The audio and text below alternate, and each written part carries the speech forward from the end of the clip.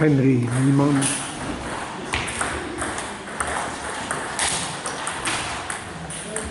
Spielvereinigung Herolds, Bachturm, Oberfrank, noch. Und jetzt schlägt auf Michael Lang. Würzburg, Krombiel.